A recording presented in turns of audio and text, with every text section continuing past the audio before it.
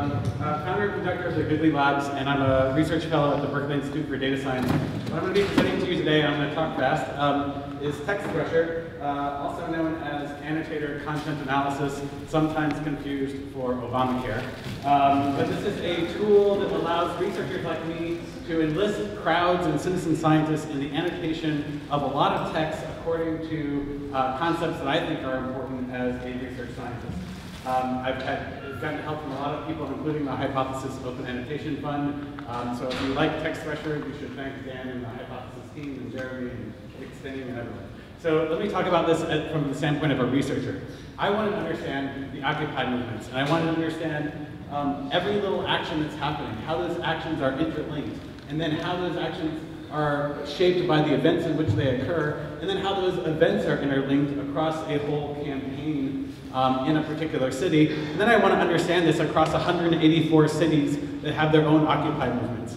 Um, so to, to, to, get all of the variables of information I need to start doing uh, statistical calculations to understand, for instance, why certain sequences of behavior lead to violence or to negotiation, I need a lot of really well-structured data, and I need to gather it all from newspaper articles. Um, so I had over 8,000 newspaper articles. I wanted to understand everything that was happening during protester-initiated events, everything that was happening during police-initiated events, everything that was happening uh, at the city level and what the civilian government was up to, and everything that was happening during uh, at those occupying encampments themselves. So well over 120 different variables I wanted to extract from all these 8,000 news articles. Um, existing text algorithms can't really do this stuff. Um, you, you know that. And we mostly trust humans to do this because we understand natural language so well. Um, and in, in the science and social sciences in particular, we've been using this method called content analysis. And basically, it's stuff, stuff that people have been doing for millennia, ever since we've had written text. Um, people write their annotations and their marginalia notes, and they'll start using different colors that mean different things. And uh, lately, in the last decade or so, um, we've had we've moved this into a computer environment, but it's it's kind of an esoteric process and it doesn't really scale. The big problems um, are really demonstrated well by the Dynamics of Collective Action uh, project out of Stanford. It took 10 years to get uh, 26 variables, not 120 some variables, but 26 variables out of a bunch of news, newspaper articles describing uh, movements in New York State. Um, the big bottle, bottleneck from a research standpoint is that undergraduates learn how to do the task, and then and, but and then they like start playing ultimate frisbee or they graduate and then you have to train a new wave a new wave every time so i wanted to figure out how i could get this work done by hundreds or thousands of people through the internet. Um, so again here's the problem 8000 news articles all these different variables. What i realized is that each of those different sets there are different sets of variables that pertain to different types of text that i can find in news articles. So right now I can, I can point and just say that blue text is about a police-initiated event, the orange text is about a protester-initiated event, that brick-colored text is about what's going on at the camp. And I had my team go through and do this, but I've created Text Thresher to make this process uh, really work um, at scale.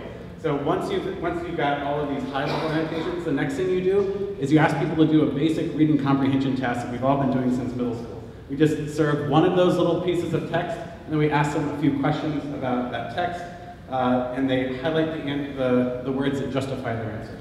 That's, that's all the Text Thresher does. It's pretty simple. Let me show you um, quick demo. And I'm trained for live demo gods. Um, so here is that high-level highlighting interface. Um, I've just started one here. But, uh, what I'm highlighting here is all the information that's about the protest-initiated event.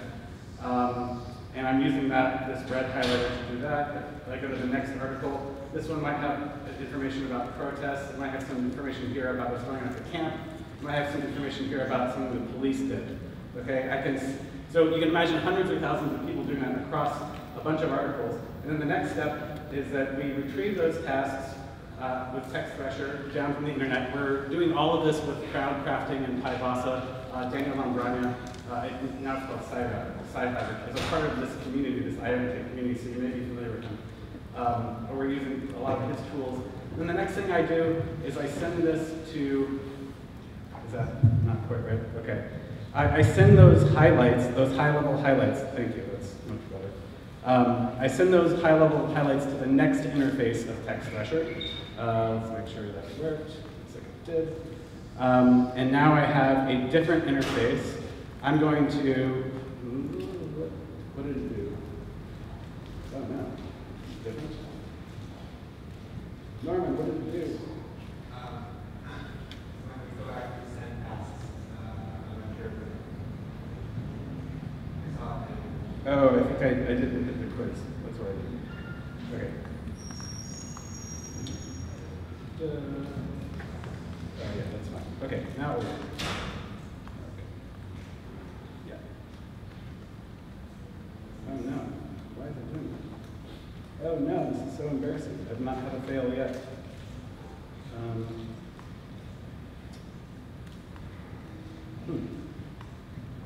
Look at this. Uh, I'll show this later to people because it looks like we have some other time. But what, what basically what you're going to be seeing um, with this interface is that we have a display of the same text units that I just highlighted for you. And we ha have people answer questions, and as they answer a question, they get a highlighter. They highlight the text that justifies their answer, and we apply, you know, dozens and dozens of different highlighter colors to just that one small text unit.